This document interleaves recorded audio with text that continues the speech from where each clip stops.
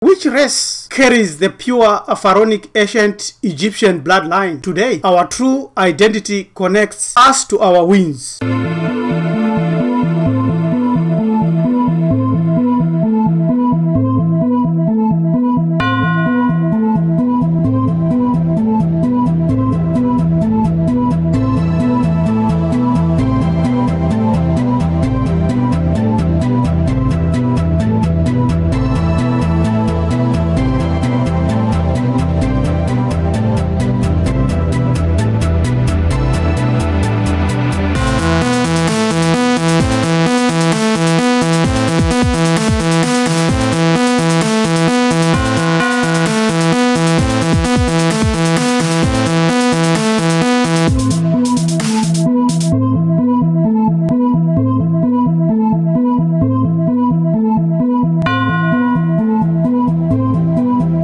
Reptilian Achtauri bloodlines introduced blood groups. We see here that they are ancient beings that were very smart, very intelligent, very brilliant.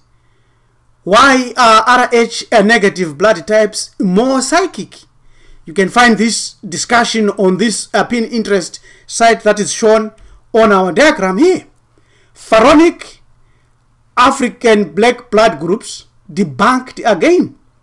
A Kenyan with blood type A can give blood to a Norwegian with blood type A. Yet a Norwegian close relative or young brother or young sister with uh, blood type B cannot. How can this be? Why is this like this? Why is this arrangement like that? We know uh, the heart is not a pump, does not pump blood, is a regulator of blood. We also know that blood is manufactured in the bones. And we also know that blood pressure is created by your first breath and the, the mechanisms or the mechanical functions of your uh, ribs, your lungs, and your diaphragm. But we are not aware or we don't know where blood groups came from. The discussion here is about uh, the origins of the blood groups. And we have King Tut's blood uh, type A. Presence of blood type A, for example, is held to signify the Caucasian character of the ancient Egyptians by many Egyptologists. Uh, the presence of type A2 and its uh, MN antigens is held to show that a white, a Nordic, or European uh, presence was there in Egypt and fathered King Tut. Is this correct? Is this true? Can we follow this clearly? When you study and you go into this study of the blood group types, it the blood group the blood group research shows Africans having high levels of type A well within the range for Tutankhamen. We know that uh, uh, would die of rage and shame when if he realizes and understands that because he believed that Europeans were the most genetically pure race, the most intellectually gifted, and the least weakened by racial mixing. There is nothing like that today. There have been a lot of mixing. You can see here that we have mixed up, and the blood groups are clear indications that this has happened. But what we know came from Africa. Do ancient Egyptians share same blood types with Europeans? This is what we are looking for, and we, this is what we are researching. Supporters and sympathizers of the European origins of pharaonic Egypt are said that because of the presence of blood type A2 and its MN antigens attached, they say that that is conclusive that a white Nordic Egypt uh, originated and existed. And they say there was no Negroid groups, and they have said MN antigens with A2 never uh, existed.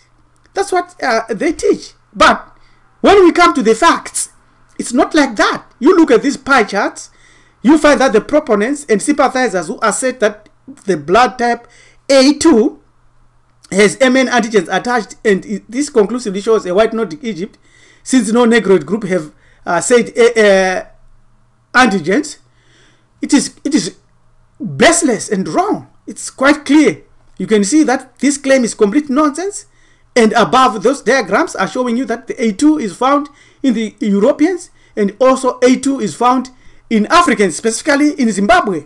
Comparison of European and African blood type A2 is minor compared to the main group. This is very straightforward. That has uh, been e explained. The same story is found here. The blood group research shows Africans having high levels of type A, which does not surprise us if uh, King Tut has the same thing. So we know that 60% uh, of the ancient mummies had type O. This preponderance is also seen in Bantu groups, which show more O than Europeans. A Manchester University in the 1970s conducted a number of blood group tests on mummies using a mixed cell agglutination technique.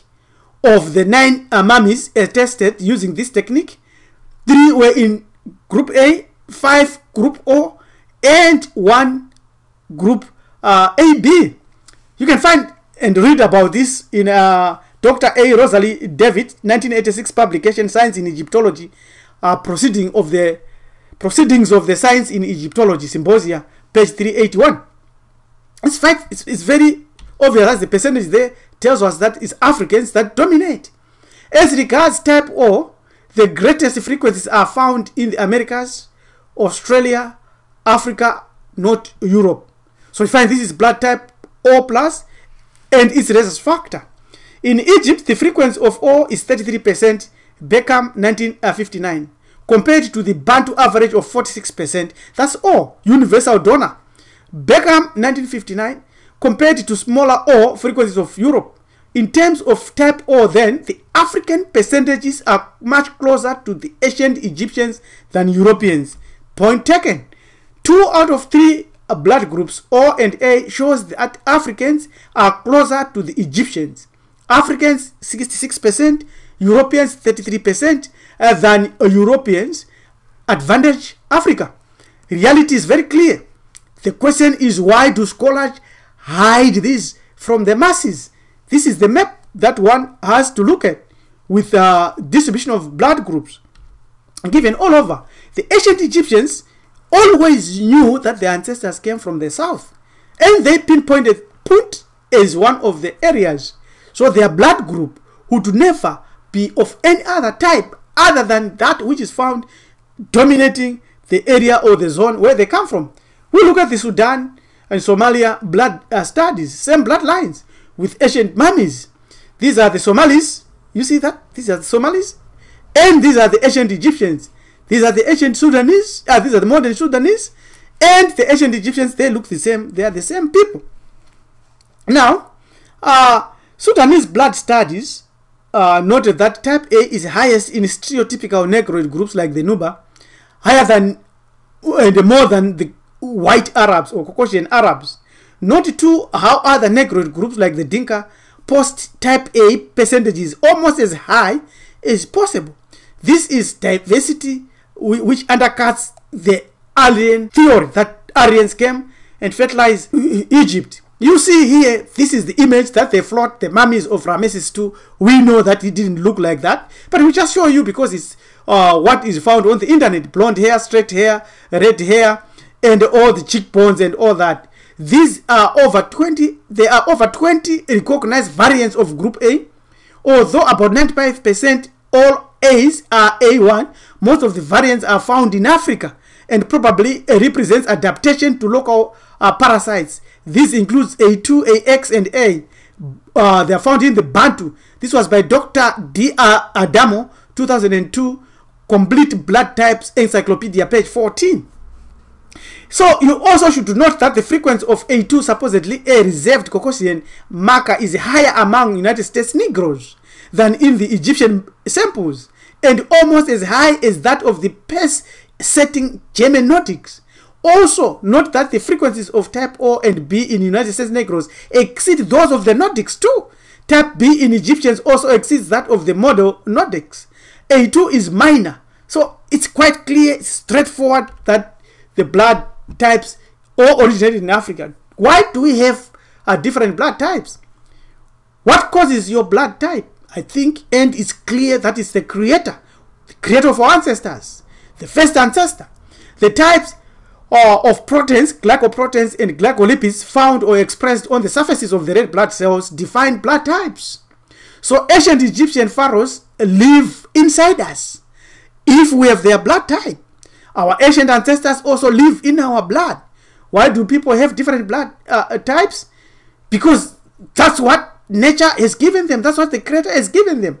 It or a blood type, also called blood group, is a classification of blood based on the presence and absence of antibodies. So blood type origins remain a mystery. No one knows why humans have them, but their function is popular and is known. They are there and they differentiate us. We cannot uh, argue about that. It is quite clear, therefore, that Africa has more than enough genetic power in ancient times, today, and forever to create diversity of blood types. It is the motherland. It is where Put, this is where Put is. This is where Egypt is. It's in Africa. So they were not anything else other than African. So you must say thank you to ancient Egypt for preserving this knowledge because this knowledge gives us our true identity which breeds uh, success. Now, one of the greatest ways to be successful is to eat right for your blood type. To find what your blood type was. These are ancient Egyptians preparing their food and eating their food. Definitely they were not all on the right or all correct, but at least they had a sense of knowledge and purity because they were the origins, they were close to the knowledge that drove them, that gave them the civilization that we see and we are amazed at today. Know your ancient identity. If your ancestors were a great people, their greatness is in your blood. Activate that using this knowledge. How do you activate it? By sharing this uh, knowledge. Thank you very much. Uh, subscribe to our channel. This is Hamiti Hebrew Ethics, uh, priest teacher, uh, uh, rabbi. We hope to offer solutions to problems of life. Thank you. Goodbye.